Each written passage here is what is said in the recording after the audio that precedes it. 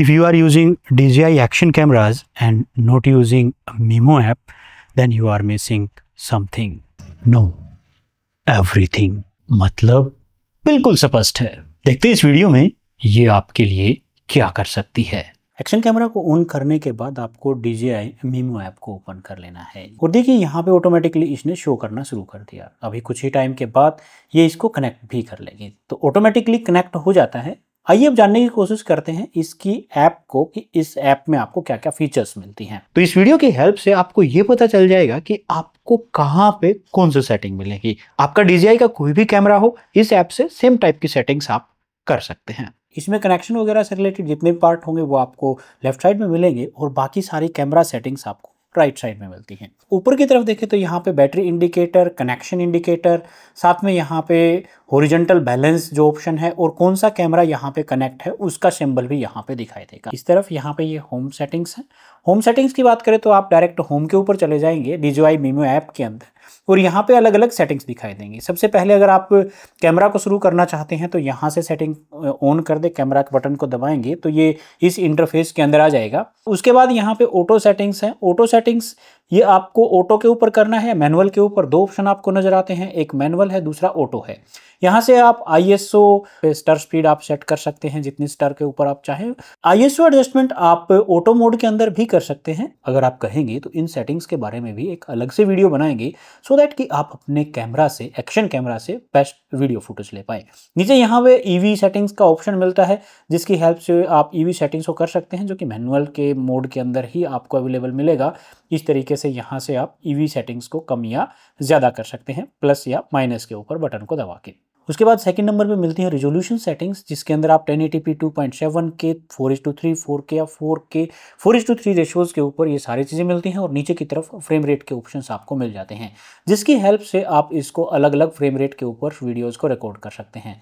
यहाँ पर आप देख सकते हैं 120 फ्रेम पर सेकेंड फोर के ऊपर मिल जाता है और 4K four is to three में 60 के सिक्सटी फ्रेम रेट्स के ऊपर आप वीडियोज़ रिकॉर्ड कर पाएँगे। उसके अलावा दो मोड यहाँ पे दिए गए हैं, एक पावर रिज़र्व और दूसरा स्टैंडर्ड मोड पावर रिज़र्व की हेल्प से अगर आप चाहते हैं कि आप कैमरा की बैटरी को सेव करें तो उसके लिए आप पावर रिज़र्व मोड ऑन करें। और अगर आप स्टैंडर्ड मोड में चाहते हैं क्वालिटी अच्छी चाहते हैं वीडियोज़ के अंदर कोई कॉम्प्रोमाइज़ नहीं चाहते तो आप स्टैंडर्ड मोड के अंदर जाएँ। उसके बाद यहाँ पे तीन डोर्स दिखाई देते हैं। यहाँ पे आप प्रो मोड को ऑन या ऑफ़ कर सकते हैं। अगर आप फुल्ली ऑटोमेटिक चाहते हैं कैमरा के ऊपर अलाई करना तो यहाँ से आप इसको सेट कर सकते हैं। लूप रिकॉर्डिंग ऑन या ऑफ़ के लिए आप सेट कर सकते हैं और लूप रिकॉर्डिंग की सेटिंग्स बहुत सारे लोग मुझे कमेंट करते हैं कि इन सेटिंग्स को कैसे चेंज किया जा सकता है। हमारे कैमरा के अंदर सिर्फ़ पाँच मिनट की रिकॉर्डिंग होती है, हम एक घंटा की चाहते हैं सोन तो देखिए, यहाँ पे लूप रिकॉर्डिंग आप ऑफ़ कर सकते हैं।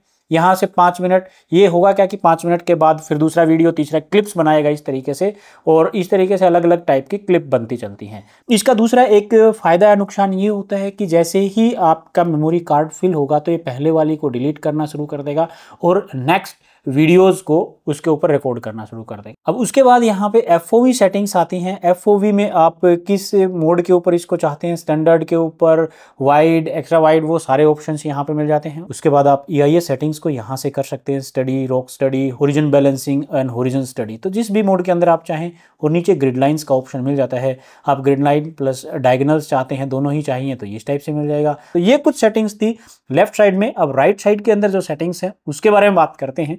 तो सबसे ऊपर यहाँ पे आपको सेटिंग्स मिल जाती है लाइव स्ट्रीम की, जिसकी हेल्प से आप फेसबुक व यूट्यूब या आरटीएमपी आप लाइव स्ट्रीम कर सकते हैं इस कैमरा को।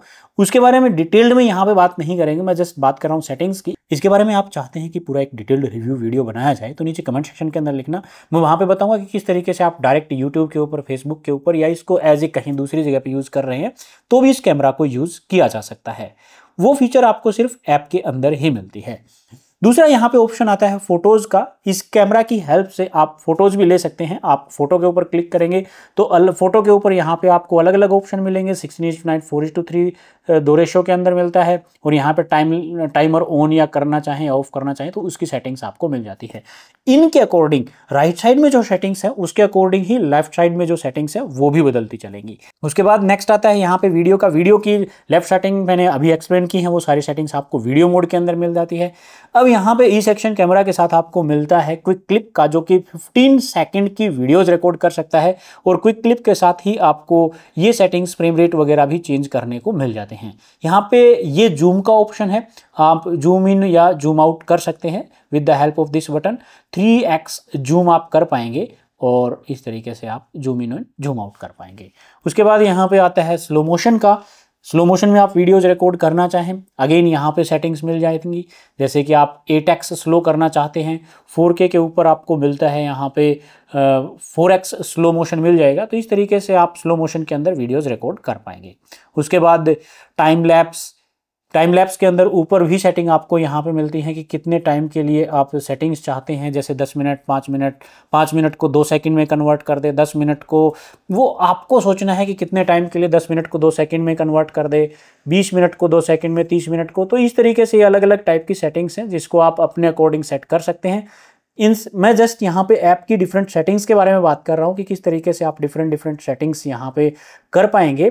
उसके लिए डिटेल्ड में कभी किसी और वीडियो में बात करेंगे। आप कहेंगे तो मैं वीडियो इसके बारे में भी ज़रूर बनाऊँगा कि ऐसे आप मैक्सिमम बेनिफिट ले सकते हैं इस कैमरा के साथ। किस पे रिकॉर्ड करेगा? तो यहाँ पे तीन ऑप्शन मिलते हैं। टाइम लैप्स के लिए ten eighty two point seven K and four K ये ऑप्शंस आपको मिल जाते हैं। उसके बाद यहाँ पे ऑप्शन आता है हाइपर लैप्स का। ये एक ऐसा वीडियो है जो हाई स्पीड में यानी कि आप चल रहे हैं, कैमरा लगा के कहीं पे मोटर ब्लॉगिंग वगैरह कर रहे हैं, इस तरह से कर रहे हैं तो आपको पूरे रास्ते का फटाफट वीडियो चाहिए फास्ट वीडियो चाहिए एक तरीके से तो उसमें हाइपर लैप्स होता है। तो टेन एटी ऑटोमोड के ऊपर, टेन एटी के ऊपर जाता है।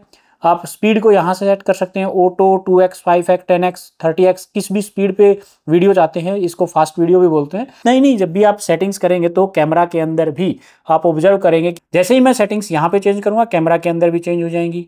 4K के ऊपर किया 4K आ गया, यहाँ पे 1080p किया तो 1080p आ जाता है। अब इन सेटिंग्स को आपने कैमरा के अंदर अप्लाई कर दिया। कंफर्मेशन के लिए आप इसकी स्क्रीन के ऊपर, जो नीचे वाला पार्ट है स्क्रीन के अंदर, उसके ऊपर आप इन सभी सेटिंग्स को देख पाएँगे, जो भी प्रेजेंटली आप यूज़ कर रहे हैं वीडियो रिकॉर्डिंग के लिए। ये सारी सेटिंग्स है जो कैमरा टू कैमरा डिफर करती है। अगर आप कोई दूसरा camera for example DJI action four या पॉकेट कैमराज कोई भी दूसरा कैमरा आप कनेक्ट करते हैं तो उसके अंदर उसकी जो नेटिव सेटिंग्स है, वो आपको मिलेंगी। तो ये तो वो सेटिंग्स थी जिसकी हेल्प से आप बेटर वीडियोस को रिकॉर्ड कर पाएँगे बट जो वीडियो आपने रिकॉर्ड कर लिए, उनको आप कैसे देख पाएँगे और क्या उनको एडिट भी किया जा सकता है? उसके बारे में भी देखते हैं। यहाँ से प्ले का ऑप्शन मिलता है, जो भी वीडियोज़ रिकॉर्ड किए हैं, वो गैलरी आपको दिखाई देगी और इस गैलरी के अंदर जितने भी वीडियोज़ हैं फ़ोटोज़ जो भी आपने रिकॉर्ड किए हैं, वो सारे के सारे आपको इसके अंदर दिखाई देंगे। अब यहाँ पे गैलरी मोड की बात करें तो ये कुछ फीचर्स दिखाई देते हैं। ऊपर सबसे पहले आपको कैमरा का नाम दिखाई देगा, जो अब जब कैमरा का नाम दिखाई दे तो समझे कि कैमरा के अंदर जो वीडियोज़ फुटेज रिकॉर्ड हैं, वो सारी की सारी आपको दिखाई देंगी। अगर आपने फ़ोन में डाउनलोड कर रखी है पहले से तो वो यहाँ पे डाउनलोड के अंदर दिखाई देगी। फ़ोटोज़ वीडियोज़ इस तरीके से आप अलग अलग भी या सारे एक साथ देखना चाहें तो एक साथ भी दिखाई देते हैं। आपने कोई भी वीडियो फॉर एग्जांपल जैसे मान लिया आपके मोबाइल के अंदर है तो जैसे ही आप उसके ऊपर क्लिक करेंगे तो ये उसको प्ले करना शुरू कर देगा।